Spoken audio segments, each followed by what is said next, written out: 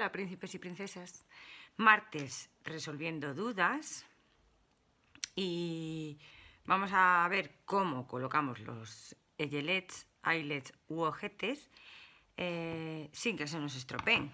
Me habéis dicho muchas que se os estropean, sobre todo por arriba, se os quedan aplastados y el problema es que por norma general no movemos los cubitos que nos vienen giratorios en la máquina. Y hay un truco muy fácil para saber cuál en cuál tenemos que ponerlo. Y vamos a empezar con uno pequeñito. Entonces, movemos los pitorritos que trae, los dejamos para afuera y colocamos, por ejemplo, el cubo de aquí en la medida más pequeña. Para que veáis qué fácil es. Ponemos nuestro eyelet ahí y si no baila de que no quede ajustado ahí, o sea, si queda totalmente plano, esa es nuestra medida. Y aquí también tenemos que confirmar que nos entra bien en el pitorrito, ¿veis? Ahí. Si yo lo pongo en el otro, al ser tan gordote, me va a aplastar parte del eyelet porque fijaros, no entra en el pitorro, ¿veis? Uy, se me vuela y ahí no nos entra. Es por esa boquilla no nos entra, ¿veis? Entonces, ¿qué hacemos? Sabemos que esta es la base más pequeña, ya la colocamos ahí, dentro, y esa es la base más, el pitorrito más pequeño, y perforamos. Vamos ahí, por ejemplo, ya tenía unos pocos puestos para que vierais que a mí nunca se me estropean. Al principio también se me estropeaban, porque claro, eh, no movía yo los pitorros como tenía que moverlos. Ahí.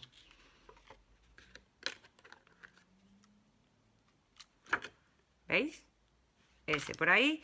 Y volvemos a hacer lo mismo pues con otros que tengamos por aquí. Por ejemplo, en este caso, este, ¿veis? Ahí me queda como bailando.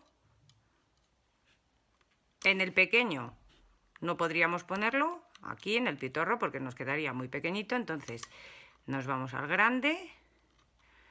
Confirmamos que nos queda bien. Ahí, ¿veis cómo os entra? Os queda ahí sujeto y vamos a probar, yo este lo hago siempre con este, que es el paso número 2, ¿vale? Porque también me queda bien. Entonces, directamente los coloco en su sitio y lo coloco en su sitio. Y hago otro agujerito, en este caso vamos a hacer el grande y lo metemos ahí.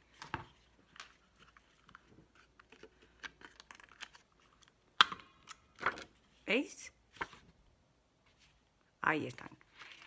Y, por ejemplo, estos que son más grandes, hay algunos que tienen la boca más grande, pero la base de aquí es más estrechita, con lo cual, pues tenemos que hacer lo mismo. Si ahí nos entra por ahí, en este nos entra bien, fijaros, ¿veis?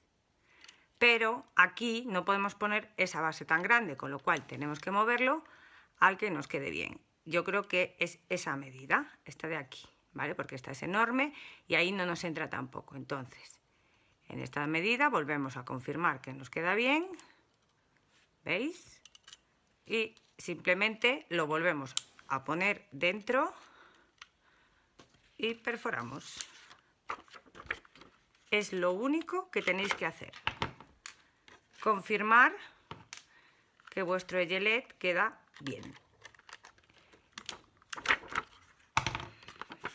¿Vale? Ahí los tendríais todos colocados. Es normal que se os levante la pintura de algunos, dependiendo de dónde sean. Yo tengo algunos de AliExpress que se levantan más que otros, pero fijaros que es súper fácil. Simplemente tenéis que jugar un poquito con los cubitos que nos vienen, que para eso están las medidas, porque si no os aplastará el eyelete entero y os quedará feo, ¿vale? Esa era una de las dudas que teníais y espero que esté resuelta. Eh, tuto rápido, ya veis, súper rápido, súper fácil, lo mismo de siempre. Si os ha gustado darle a like, compartir, muchas, muchas gracias por estar ahí y un beso muy grande, nos vemos en el próximo tutorial.